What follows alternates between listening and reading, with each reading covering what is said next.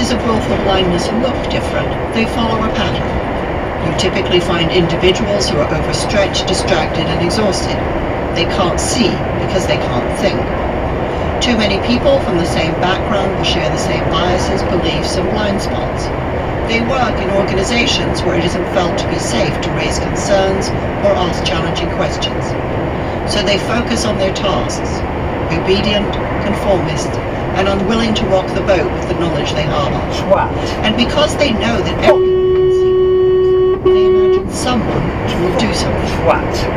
At least 1,400 children sexually abused in Rotherham. The leader of the council quits.